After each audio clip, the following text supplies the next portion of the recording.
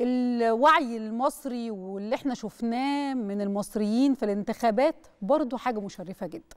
شفنا المصريين بأعداد ما أعتقدش إن إحنا نفسنا حتى كنا متخيلينها. يعني كل واحد كان عارف بين صحابه وبين قرايبه مين نازل ينتخب مين بيفكر في إيه. لكن أعتقد إن كلنا برضو اتفاجئنا لما رحنا اللجان بتاعتنا بأعداد الناس هناك.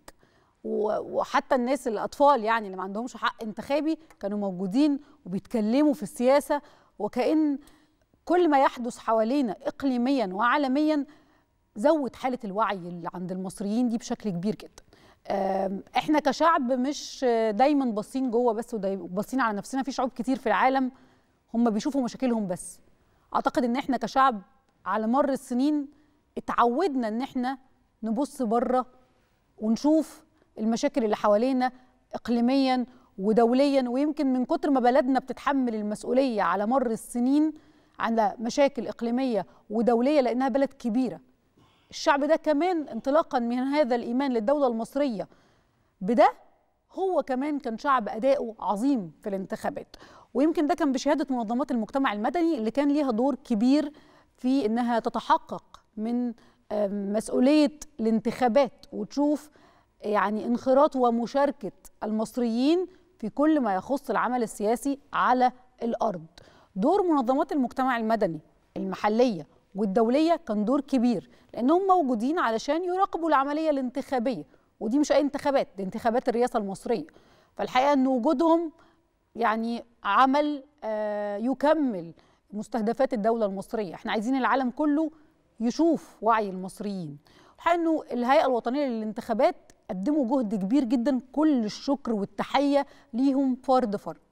أنا بكلم حضراتكم عن تقريبا 14 منظمة دولية موجود فيها يمكن فوق ال 200 مراقب دولي 62 منظمة محلية بكلمكم على 22 ألف تقريبا متابع ومراقب محلي كانوا بيشرفوا من خلال هذه المنظمات على كافة خطوات سير العملية الانتخابية.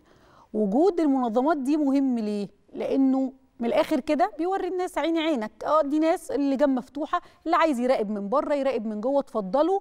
العملية الانتخابية تسير وفق النظم اللي مؤسسات الدولة بتضعها. والحقيقة الاشراف القضائي أصلا على الانتخابات يعني ده, ده أكبر ضامن لنزاهة هذه العملية الانتخابية. إلا إنه وجود المراقبين دول اللي كانوا منتشرين في كل المحافظات في كل اللجان حديثهم للعالم كان على نسبة الإقبال. حديثهم للعالم كان على التسهيلات اللي ابتدت تتعمل للاقتراع زي ما شفنا كده مثلا لجان المغتربين. كل الحاجات دي كانت بتسهل. ولو إن مثلا لسه بشوف إنه المصريين في الخارج محتاجين تسهيلات أكتر لأن هم بيقطعوا مسافات كبيرة جدا علشان يقدروا إنهم يروحوا ينتخبوا. فلازم كمان نشتغل على أي معوقات بتقف قدام المصريين في الخارج لأن جزء كبير منهم بيبقى عايز يشارك أكتر وأكتر وبيبقوا دايما قلبهم على بلدهم. وبيبقوا عقولهم وقلوبهم مع مصر وخصوصا في استحقاقات كبيرة زي الانتخابات الرئاسية. كان في كمان بعثات للاتحاد الأفريقي والجامعة الدول العربية والبرلمان العربي وجمعية برلمان البحر المتوسط وكانوا برضو بيتابعوا هذه الانتخابات.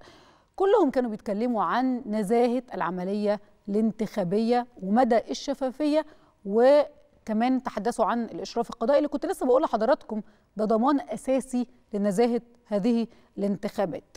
كان في كمان ائتلاف نزاهة دولي وده الخاص بالانتخابات الرئاسية المصرية 2024 كان في تعاون ما بين خمس منظمات أجنبية منظمتين محليتين زي منظمات إيكو اليونان يعني الحقيقة منظمات عدة كانت موجودة المنتدى الوطني للمنظمات والحقيقة إنه كل هذه المنظمات اللي كانت موجودة تتحدث عن إقبال المصريين اللي يمكن حتى مش بس محليا الناس ما كانتش متخيلة إن ده هيحصل دوليا كمان لأنه الوقت الحالي ما هوش وقت سهل لا على المصريين ولا على العالم. فوجود المصريين بالأعداد دي في الانتخابات إحساس كبير منهم بالمسؤولية إحساس كبير منهم بكل حاجة بتحصل حوالينا.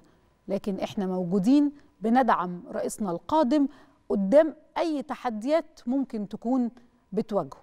ثلاث أيام الحقيقة كانوا يعني عنوانهم بالنسبة لي هو نزاهة هذه الانتخابات الانتخابات وشفافيتها وحضور كبير ووعي كبير للمصريين.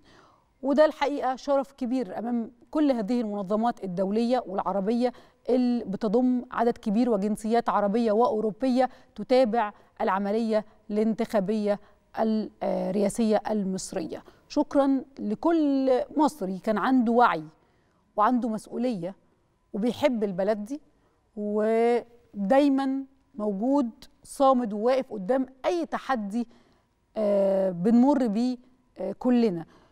اتحادنا في مسألة زي الانتخابات الرئاسية مهم جدا. مهما كانت أيديولوجياتنا السياسية مختلفة لكن إحنا موجودين عندنا حق التصويت بنقول رأينا وننزل نختار من يقود هذه الدولة القوية الفترة اللي جاية.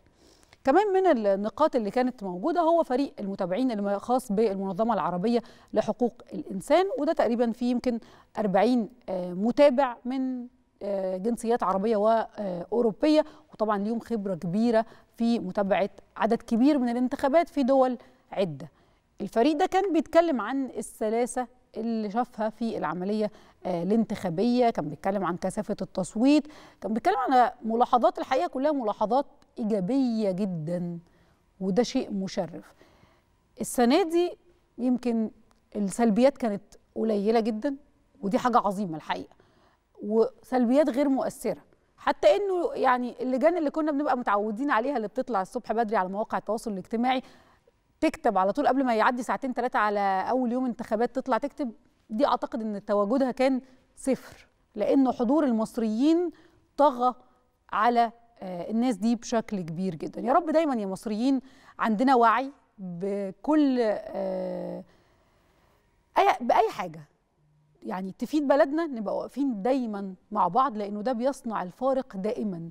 إحنا متعودين إن إحنا نكون موجودين بالشكل ده لكن الحقيقة إن وجودنا في الانتخابات الرئاسية المرة دي كان فاصل وكان مهم جدا وكانت رسالة مهمة جدا تصل للعالم إنه المصريين واعيين جدا عارفين ماذا ينتظرنا وماذا ينتظر الرئيس القادم. ندعم رئيس هذه الدولة بكل ما أوتينا من قوة ونحافظ على هذه البلد.